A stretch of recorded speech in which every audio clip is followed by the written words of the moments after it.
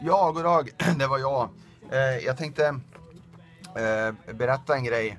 Eh, jag tänkte göra en, en liten film här. För att Yamaha Stage Custom är ju väldigt pol, pol, populära på eh, poppis eh, och eh, väldigt restade hela tiden från Yamaha. Och eh, vi har lyckats fått in en sändning där det är ett set som inte är sålt.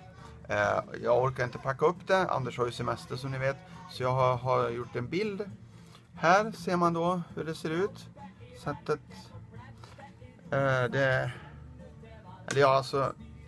Det är ju shellpack då så att alltså själva stativen och symbolerna ingår ju inte i Shellpack.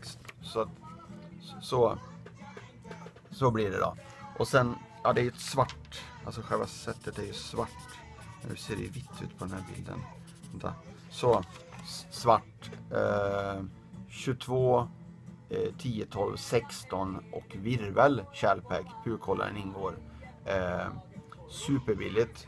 Eh, som vanligt så, så kollar ni hemsidan för, för aktuellt pris. Eh, ligger eh, i regel någonstans runt 6, 8, 6 och 9 eh, där beroende på eurokursen då. Så att det här Yamaha Stage Custom har vi i lager ett set 22, 10, 12, 16 svart eh, shellpack jättebilligt och bra. Köp det om ni vill. Det vart ju kanon här. I Kopparberg här.